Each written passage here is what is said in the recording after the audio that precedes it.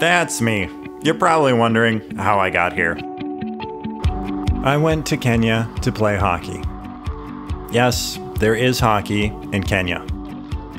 There is a lot of cool stuff there friendly animals, sprawling beaches, amazing people,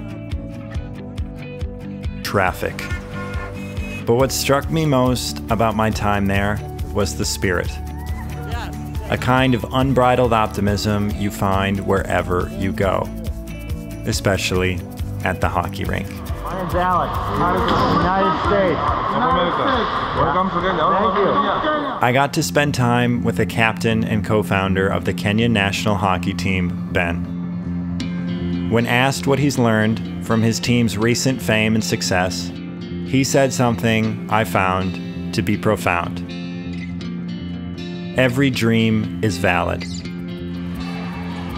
And it's true.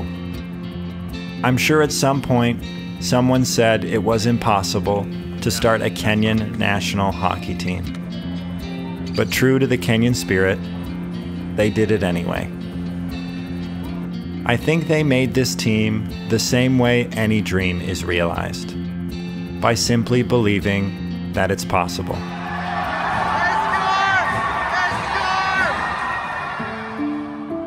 On our last day in Nairobi, we played inline hockey with some local kids.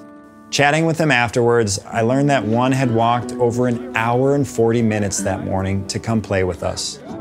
And the crazy thing is, she didn't even seem to mind. I wasn't surprised to see Kenyans fall in love with hockey. It's a great game.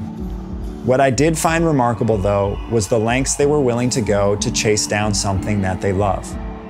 Their willingness to persevere for their dream and do it with a smile. Uh, first time I played, this guy came up to me and said, Did you play? And I said, Yes. He said, You're not sweating.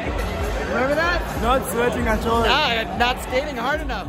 If there is one thing playing hockey in Kenya has taught me, it's that you can do it.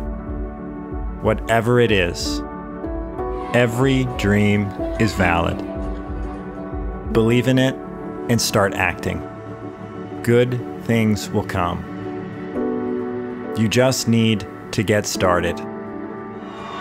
You just need to keep going.